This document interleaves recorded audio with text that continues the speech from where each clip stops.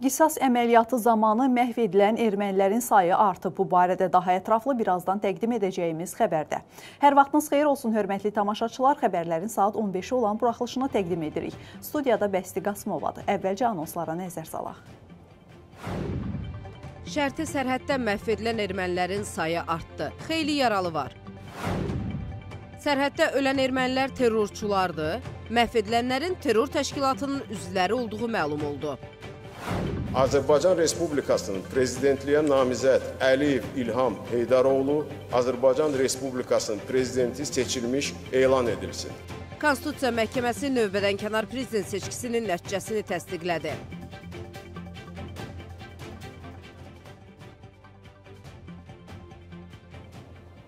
İndi isə daha ətraflı. Ötən gün Zəngilan istiqamətində qarşı tərəfin törətdiyi təxribat cavab olaraq Dövlət Sərhəd Xidmətinin bölmələri tərəfindən qisas əməliyyatı keçirilib. Nəticədə dünən əskərimizə atəş açılan Ermənistan Silahlı Qüvvələrinin Qafan rayonunun Erkinant yaşayış məntəqəsinin yaxınlığındakı döyüş postu tamamilə darmadağın edilib, döyüş mövqeləri susturulub.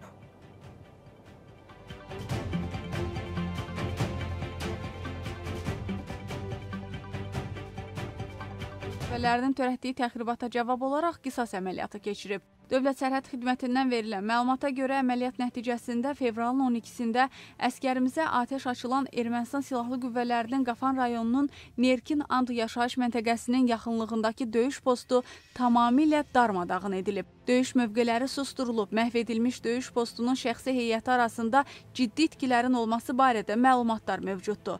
Ermənistan tərəfinin Azərbaycan-Ermənistan şərti dövlət sərhədində əməliyyat şəraitinin gərginləşdirilməsinə yönələn hər bir təxribatına bundan sonra daha ciddi və qəti tədbirlərlə cavab veriləcək. Baş vermiş hadisəyə görə məsuliyyət tam şəkildə Ermənistanın hərbi siyasi rəhbərliyinin üzərinə düşür deyə Dövlət Sərhəd Xidmətindən qeyd olunub. Xatırladaq ki, fevralın 12-sində Azərbaycan-Ermənistan şərti dövlət sərhəddinin Zəngilan rayonu ərazisindən keçən hissəsində Dövlət Sərhəd Xidmətinin sərhəd qoşunlarının Zəngilan rayonunun Kolluqışlaq kəndi ərazisində yerləşən mövqeyinə Ermənistan Silahlı Qüvvələrinin Qafan rayonunun Nerkin Ant yaşayış məntəqəsi istiqamətində yerləşən mövqeyindən açılan atəş nəticəsində bir hərbi qulluqçumuz yaralanıb.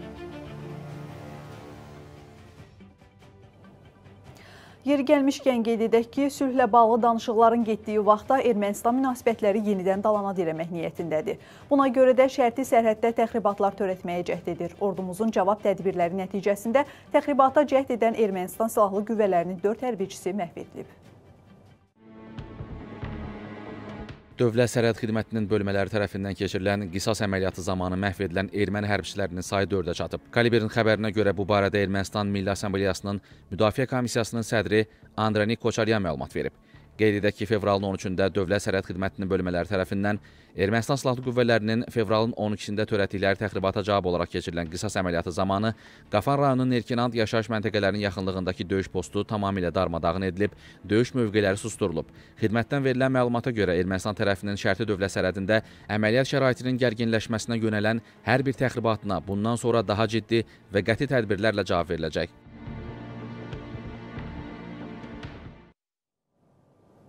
Bu arada məhv edilən erməni hərbiçilərlə bağlı bəzi detallar məlum olub. Belə ki, Dövlət Sərhəd Xidməti tərəfindən keçirilən qisas əməliyyatı zamanı öldürülən ermənilərin terror təşkilatının üzvləri olduğu bilinib.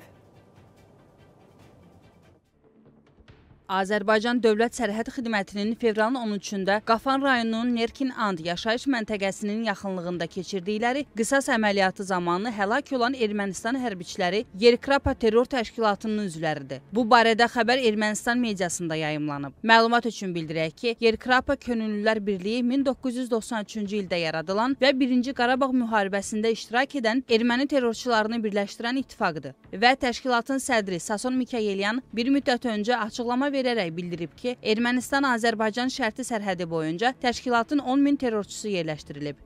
Xatırladaq ki, fevralın 12-sində Ermənistan silahlı qüvvələri Azərbaycanla şərti sərhəddə atəşkəsi pozaraq təxribata cəhd ediblər. Nəticədə Ermənistan silahlı qüvvələrinin 4 hərbiçisi məhv edilib, bir neçə nəfər yaralanıb. Təxribat zamanı Azərbaycan ordusunun isə bir hərbi qulluqçusu xəsarət alıb. Xarici İşlər Nazirliyi Ermənistanın törətdiyi təxribatlarla bağlı məlumat yayıb bildirilib ki, 4-5 aydır sabitliyin hökm sürdüyü bir mühitdə belə təxribatlara əl atan Ermənistan verdiyi sülh mesajlarına zid hərəkət edir. Ermənistan tərəfinin son təxribatları Azərbaycan-Ermənistan arasında sülh prosesinə ciddi zərbədir. Son 4-5 ay ərzində sabitliyin hökm sürdüyü bir müddətdə bu kimi təhrik edici əməllər Ermənistan tərəfindən bəyan edilən sülh mesajları ilə açıq-aşkar ziddiyyət təşkil edir. Eyni zamanda bu kimi təxribatların məhz Ermənistandakı Avropa İttifaqının missiyasının müşahidə həyata keçirdiyi ərazidən baş verməsi bu missiyanın məqsəd və məramlarına dair ciddi suallar yaradır. Azərbaycana qarşı baş verən bu kimi təxribatlara görə Ermənistanın hərbi siyasi rəhbərliyi məsuliyyət daşıyır. İşğal etdikləri torpaqlarımızda illərlə talançılıqla məşğul olan Ermənistanın törətdikləri göz önündədir. Hərdaşı divarı dağıtmaqla bizə gözdağı verməyə çalışdılar. Göranboyun Gülüstan kəndi də ermənilər tərəfindən sözün əsl mənasında cəhənnəmə çevrilən ərazilərimizdəndir. 30 il davam edən işğal dövründə ermənilər Azərbaycan torpaqlarında daşı daş üstə qoymadılar. İşğal etdikləri ərazilərimizdəki yurd yerlərimizi yağmalamaqları azmış kimi təbiətinə belə divan tutdular. Sanki hər daşdan, hər cığırdan erməni zülmündən xilas olanlarımızın qisasını aldılar. Viran qoyduqları evlərin sahibləri bir gün mütləq qaydacaq qorxusu ilə düz 30 il o torpaqlarda ölüm toxumu əkdilər. Azərbaycan ərazilərinin mənfur niyyətləri ilə murdarlamaqları azmış kimi minalarla da çirkləndirdilər. Goranboyun uzun müddət işğal altında olan Gülüstan kəndi də mənfur qonşularımız tərəfindən sözün əsl mənasında cəhənnəmə çevrilib. Kənddən yayılan videonu izlədikcə aydın görünür ki, buranın da hər daşı, hər kəsəyi erməni vandallığının qurbanı olub. 18-ci əsrdən bəri tarixin bir-bir sınağına şahidlik etmiş, tarixi Gülüstan müqaviləsinin imzalandığı Gülüstan qalası düz 30 il erməni vəhşiliyinə şahid olub. Bir zamanlar bülbül gülü, gül bülbülü çağıran Gülüstandan geriyə ancaq viran qoyulan, yağmalanan evlərin xarabalıqları qalıb. Hə, bir də kəndin hər tərəfində, Gülüstan qalasının ətrafında hər addım başı bastırılmış ölüm tələləri. Ermənistan silahlı qüvvələri tərəfindən burada da xeyli sayda müxtəlif təyinatlı minalar quraşdırılıb. Goranboyun Gülüstanı qoynundakı piyada və tank əleyhinə minaların ağırlığından hələ də ağır-ağır nəfəs alır.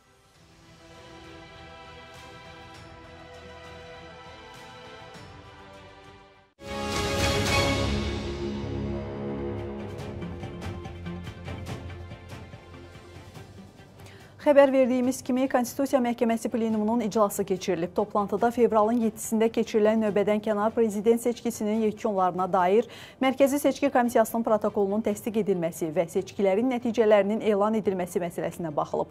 İclasda seçki ilə bağlı edilən şikayətlərin sayı da açıqlanıb.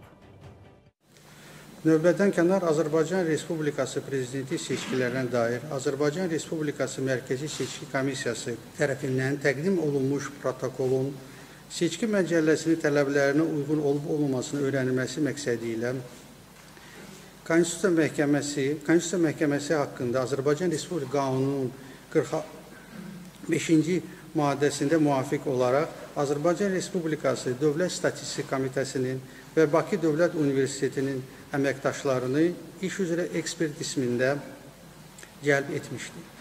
Bundan başqa, Konstitusiya Məhkəməsi haqqında qanunun 56-cı maddəsində nəzərdə tutulmuş qaydada Azərbaycan Respublikasının apellyasiya məhkəmələrindən, Naxçıvan Muxtar Respublikasının Ali Məhkəməsindən, Azərbaycan Respublikasının Ali Məhkəməsindən və Azərbaycan Respublikası prokurorluğundan seçki hüquqlarının müdafiəsi ilə bağlı baxılmış ərizələr haqqında məlumatlar tələb edilmişdir.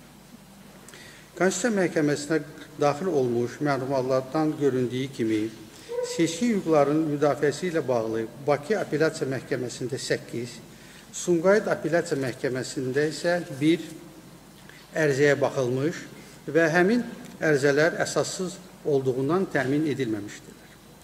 Azərbaycan Respublikasının Ali Məhkəməsindən daxil olmuş məlumatlara əsasən məhkəmə aktlarından verilmiş 3 kassasiya şikayəti təmin olunmadan saxlanılmışdır. Gəncə, Şirvan, Şəki Azər apellyasiya məhkəmələrinin, Naxçıvan Muxtar Respublikasının Ali Məhkəməsinin məktublarından gör göründüyü kimi həmin məhkəmələrə seçki hüquqların müdafiəsi ilə bağlı şikayət daxil olmamışdır. Azərbaycan Respublikasının prokurorluğu bildirmişdir ki, seçki hüququnun müdafiəsi ilə bağlı bir şikayət üzrə yoxlama aparılmış, şikayət əsassız olduğundan rədd edilmişdir. İclasda Mərkəzi Seçki Komissiyasının sədri Məzahir Pənahov da çıxış edib. O, seçici fəallığından söz açıb. Məzahir Pənahovun sözlərinə görə ötən seçki ilə müqayisədə bu dəfə səsvermədə 1 milyon daha çox insan iştirak edib.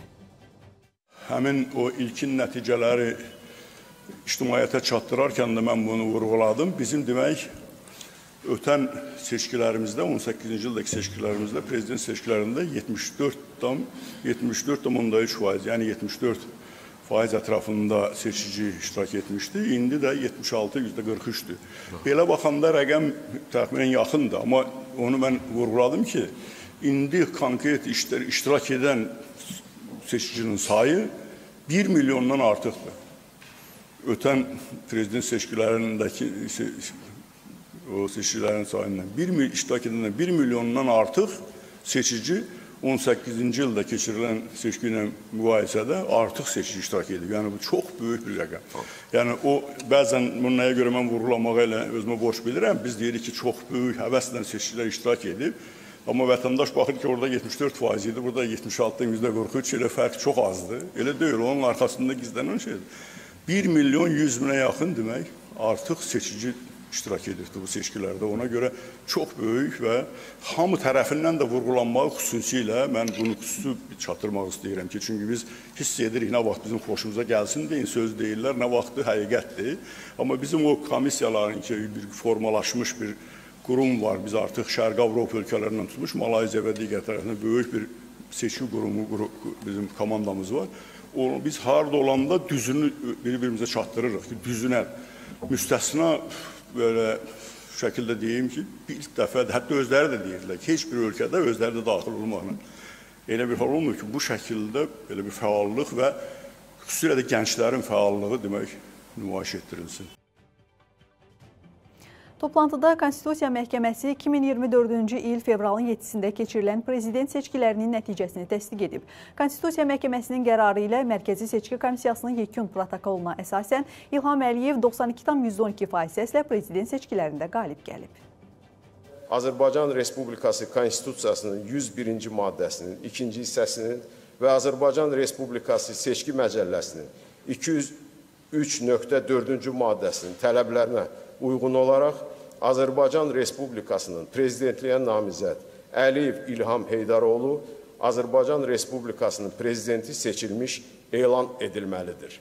Azərbaycan Respublikası Konstitusiyasının 102-ci maddəsini, 130-cu maddəsinin 8-ci və 9-cu hissələrini, Azərbaycan Respublikası Seçki Məcəlləsinin 203.1-ci maddəsini, Konstitusiya Məhkəməsi haqqında Azərbaycan Respublikası qanununun 56, 62, 63, 65, 67 və 69-cu maddələri rəhbər tutaraq Azərbaycan Respublikası Konstitusiya Məhkəməsinin plenumu qərarı aldı.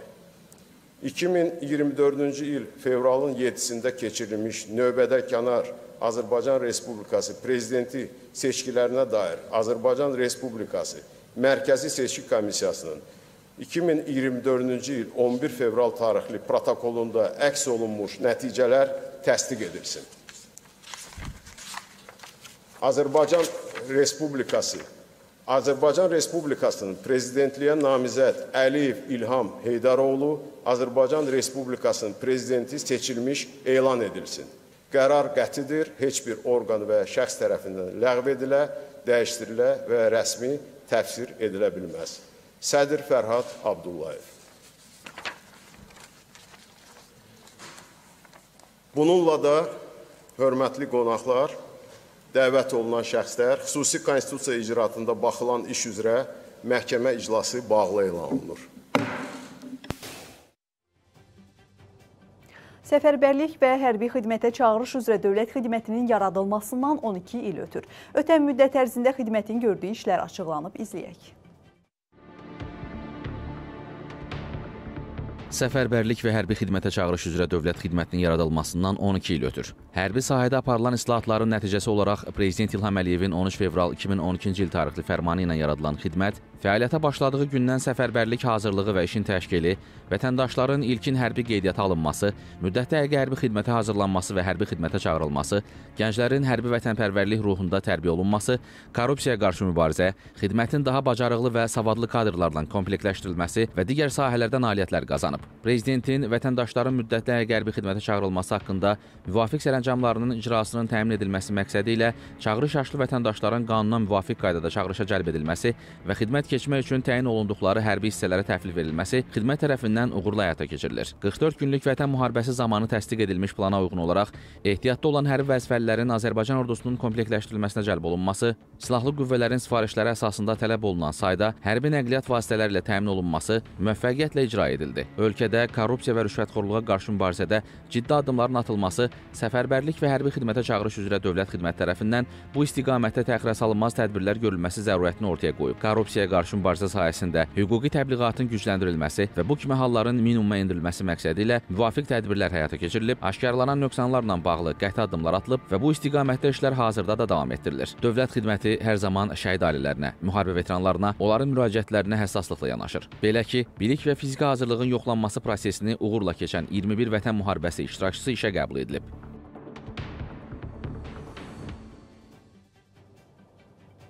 Masazırda qəbristanlıq ərazisi kol-kosdan keçilməz olub. Ərazidə yaranan ifunət iyi isə vəziyyəti daha da gəlizləşdirib. Sakinlər deyir ki, burada 9 ildir ki, vəziyyət dəyişmir. Bəs aidiyyatı qurumlar niyə yaranan mənzərəni görməzdən gəlir? Əməkdaşlarımız araşdırıb.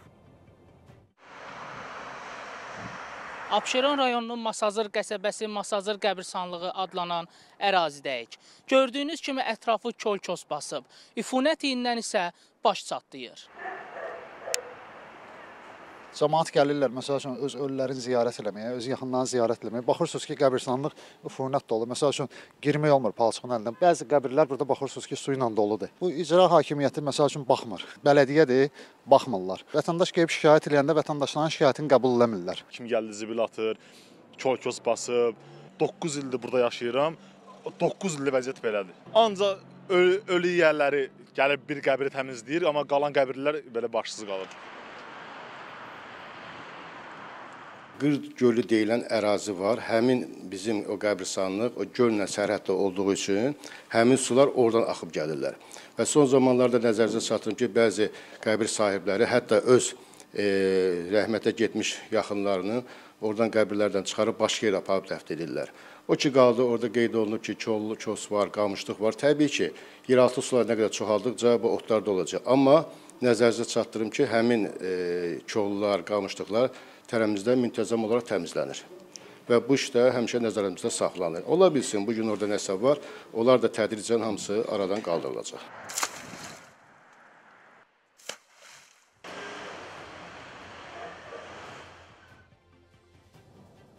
Şəhərin mərkəzində, daha dəqiq desək, Kubinka kimi tanınan ərazidəki yaşayış evləri sökülür.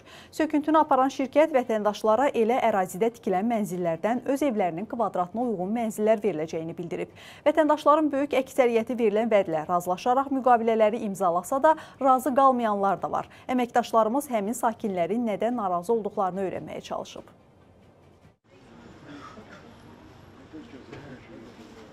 Avqustun biri mən qol çəkmişəm. Nə qədər gözləməliyik biz? Siz kimi gözləyirsiniz yəni? Çıxmayanlar çıxsın, tikinti başlasın, biz də gələk köçək öz gözəl evimizə. İndi bu insanlar niyə narazıdır, mənim başım çıxmır. Sizin indi evdə ekspertizanın əməkdaşlarıdır. Bəli. Nə ilə bağlı gəliblər? Ədliyyədir. Çünki mən narazıçılığım olmuşdu. Bunlar evin içindən ölçmüşdülər. Mən də narazı idim. Məhkəmədə dedim ki, mən bunların ölçülərinə razı deyiləm. İndi sağ olsun. Yasaman rayon məhkəməsi, hakim orada qərar verdi ki, bu xanımın köməkçi sahələri bax buracan. Çünki mən bura mən pul vermişəm, beton tökdürmüşəm. Ya həyətim var, güllər, uşağım, qızım 9-cu 9 yaşından gül saxlayır. Dibçəkləri var, sandığımız var. Hamısı köməkçi sahəmdir. Bax, istəyirsiniz açım o yeşiyi mənə aiddir. İçində də nə istəsiz var. Sağ olsun gəldilər ədliyyə ədliyyədən ölçdülər. Yəqin ki, indi baxaram. Narazı. Rafal müəllim, siz e, bu məsələyə nə deyə bilərsiniz? Deməli xanımın e, Elnarə xanımın e, orderdə e, 12 kvadrat mənzili 12 var. deyil, indi 20-dir. Təzə Ee, kupçada. Təzə kupça almışam. 20 kvadrat. 20 kvadrat olsun. Bəli. Xanımın dediyi kimi. Amma biz e, şirkət olaraq mövcudda bunun 37,5 kvadrat e, sahəsini ölçmüşük daxili ölçülərlə. Plus 20% də əlavə olmaqla mən xanıma mənzil təklif eləmişik ki, ya mənzil verəksə ailə şəraitini yaxşılaşdırmaq məqsədi ilə. Plus e, özünə də demişik, özü də təsdiq eləyə bilər. İki otaqlı e, mənzilinə uyğun kirayə tutsun və şirkət tərəfindən 1 illik, 2 illik qar qabaqcadan ödənilmə şərti ilə 400 manata. Rafael mənim 400 manata. yalan deyir, səhv deyir. Ya, mən yalan 600 manata. Mən mən isə demişəm. Məhkəmədən məhkəmədən sonradır. Mən yalançı qadın yox, deyirəm, e, Elnara xanım, üzr istəyirəm, bir-birimizə hörmətlə yanaşaq. Mən sizə mən sizə adamam. 600 manat təklif eləmişəm. Təklif eləmisiniz, amma Təklif faktda- eləmişəm. Faktda 400 manat məhkəmədə mənə oxuyub da necə hakim bəli, yalan. əgər məhkəmədə, bəli, məhkəmə müstəvisində qanuna uyğun olaraq bir otaqla götürülür. Bəndə mən- bir otaq deyir axı. Qardaş mənim 20 kvadratlı özünüz dedi, dediyiniz otağım kimi. var ayrı-ayrı. 4 nəfər yaşayır. Mən də bunu- 400 manatla mən hansı padvalda yaşayıram? Mən də 600 manat bu xanıma kira pulu tə, təklif eləmişəm ki, ə, 600 manat da azdır Rafael müəllim. köçürmə bizə. Yox. Mən tapmışam da 700 manata 2 otaqlı ev. Şirkətin təkliflərindən narazı olanlarla yanaşı, razılaşıb müqaviləyə imza atanlar da var. Bu ev mənim anamın evidir, Fərəcova Zeynfuran. 85-dən biz burada zulm çəkirik. Bir gün sökülər, sabah sökülər. Bir gün sökülər, sabah sökülər. Elə ki bu qardaşlar gəldi, bu şirkət gəldi ki, bu evi sökməyə biz hamımız sevindik. Daha mən indi o həyətdə çıxmayan adamlar var, onlar da sevindilər. Bax eşitsinlər mən əgər düz demirəmsə gəlsin bura. Hamı eşitdik, sevindik daha ki, o bizim də məhəllə sökürlər. Uca da yaşayışa mümkün deyil də biabırçılıq. Mən 8 ayda çıxmışam oradan. Öz körüb gəlmişəm, yazmışam, çıxmışam. Ya qardaş evli bu söksün də mənə ev versin. Razılaşmışam, müəllim də razılaşıb. Artıqlaması kva- kvadratında da kömək elədi. Yəni pulun da verir vaxtı vaxtında. Bunların istismar müddəti çoxdan bitib. Yəni bizim qopçularda 1890-cı illərin evləridir. Biz bir əsri keçib bu. Yəni bu evlər onsuz da sökülməlidir. Yəni çox köhnəlib, uçur. Demək olar sıçan yuvalardır. Yəni bizim ev elə bundan xaric, yəni bizim ev ən yaxşısıdır məhəllədə. Mən razıyamsa bu millə, bu cəmaətin narazılığının səbəbi başa düşə bilmirəm. Bizi də gecikdirirlər şirkəti də. Müqavilə bağlamışam. İndi inşallah tezliklə ev tikəcəklər, təzə evə köçəcəyik. Kvartiranın pulunu da verirlər, vaxtı vaxtında ödəyirlər. Bu şirkətimlə mənim bir şəxsi qərəzliyim yoxdur. Məni qane eləyir bunlarla müqavilə bağlamağım. Böyük bir kompleksin tikintisi nəzərdə tutulub, şəhərin gözəlləşdirilməsi, abadlaşdırılması məqsədi ilə tikəcəyimiz layihədə e, 233 nəfər e, sakin var. 233 sakinin e, artıq 185 ilə müqavilə bağlanıb və 25 sakinlə də bağlanmaq üzrədir. Qalan e, 23 sakinin narazı sakinlər var ki, onlarla da e, danışıqlarımız gedir. Və bunun narazı sakinlərin də əsas narazılığı ondan ibarətdir ki, kvadratına daha çox pul tələb eləyirlər, e, qiymətindən, dəyərindən qat-qat tələb eləyirlər. Və artıq köçürtdüyümüz həmin o 185 ailənin və 25 də indi danışıqlarımız gedir ki, sökülə, köçürüləcək. Artıq onların hamısının e, bir illik, il yarımlıq, 6 aylıq kim necə istəyibsə, istəklərinə uyğun kira pulları şirkət tərəfindən ödənib. Mənim evimin sahəsi onlar sayanı, yəni onu da düz saymayıblar. E, 112 kvadrat. Razılaşmışam, tamamilə doğrudur. Deyirəm ki, bu şirkətin o yalanları ortalığa çıxandan sonra imtina eləmişəm. Getmişəm rəsmi ərizə yazmışam. e, gö- e, o deməli müqaviləni ləğv eləmişəm və kupçamı da geri almışam. Qeyd olunan məsələ ilə bağlı şirkətin rəhbərliyinə sual ünvanladıq. Əliyev Arifin e, sənədlərinə gəldikdə, Əliyev Arifdə e, sənəd üzrə 19 kvadratdır sənəd üzrə 19 kvadrat olmağına baxmayaraq mövcud kvadrata uyğun ona 2 ədəd 70 kvadratlıq mənzil təklif olunub, hə, hətta mərtəbələrin belə seçib və ayda da 850 manat kirayə pulu ödəməyi şirkət öz öhdəliyinə götürüb. Və buna baxmayaraq bu da ə, haqsız narazı olan sakinlərə qoşulub. Bu da şirkətlə bağlanan müqaviləyə ziddir.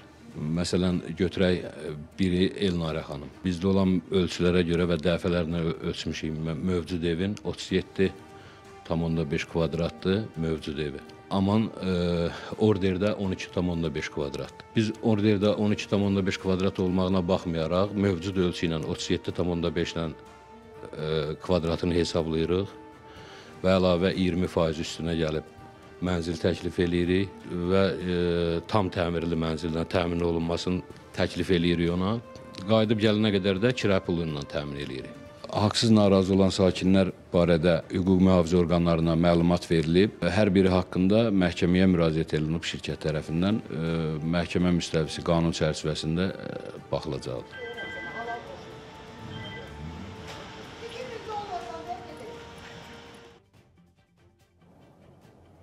Belə hörmətli tamaşaçılar, bu saata çatdıracaqlarımız bunlar idi.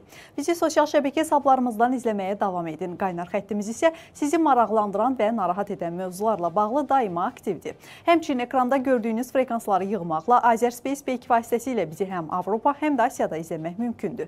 Eyni zamanda kabel yayımında Astelekom, Baktelekom və Citynet-də 10-cu, Connect TV-də 2-ci, KTV-də analog yayımda 12-ci, rəqəmsal yayımda isə 22-ci kanalda, Ailə TV-də isə IP yayımında 8, rəqəmsal yayımda 17, analog yayımda isə 31-ci kanalda bizə baxa bilərsiniz. Baku TV artıq ATV Plus-da da yayımlanır. Axtarış verməklə kanalımızı tapıb izləməyə davam edin. Sağ olun, sağlıqla qalın.